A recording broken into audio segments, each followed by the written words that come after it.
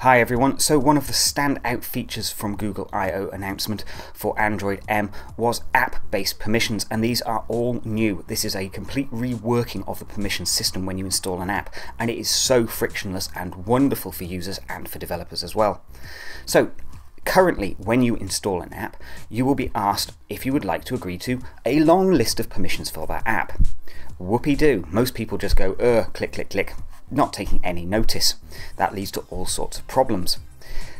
Now, what Google is going to say is permissions will be granted based on their use.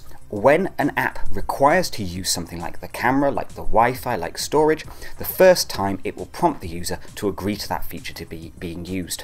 This allows the user to know what an app is actually going to be doing and when, and more importantly, it allows developers to kind of get rid of a large chunk of the friction here, scaring users off with long lists of permissions, many of which the user may never actually use in the first place anyway.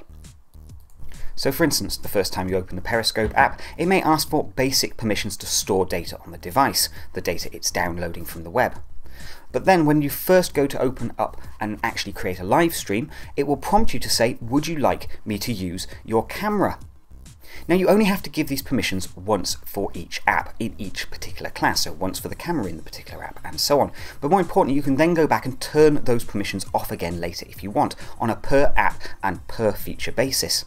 This is really good stuff and it's going to give a lot of confidence to users when they download apps that they've got control over what is happening and when. It's a good move from Google and I would certainly expect other manufacturers such as Apple and Microsoft to look at this feature and copy it. It's exactly the way you should really do this kind of app level security.